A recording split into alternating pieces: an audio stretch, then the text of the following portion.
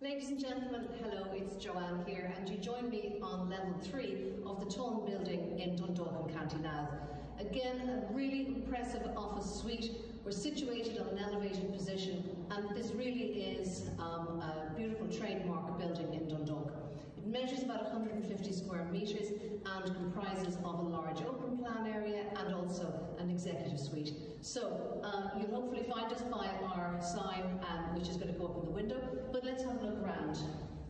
So it's all open plan in this area and really nice industrial features really make this a very special spot. The light is amazing. Now outside is a really awful day today, um, but still there's lovely light coming in. Your triple aspect um, is just amazing. And if you look here, we're overlooking on the left the Castletown Bridge, and then right in front of us the bypass bridge.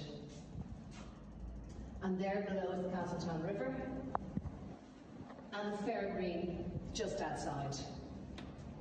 This complex forms part of a larger development comprising of residential and then this block of offices and some retail space.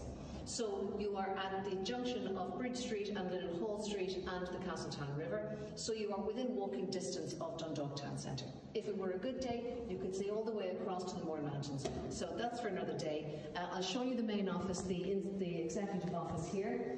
And then here, there's a kitchen with its own designated uh, gas boiler and kitchenette and staff WC. You're accessed via the lift and of course stairs, and it's a nice quiet space, um, quiet development, you know, there's not a traffic going through, so a nice discreet spot too. So this is an office to die for. Um, imagine being able to do your work here or bring your clients here. Um, as I say, it's available now and it's approximately 150 square metres and it's level three of the Tain building in Dundalk.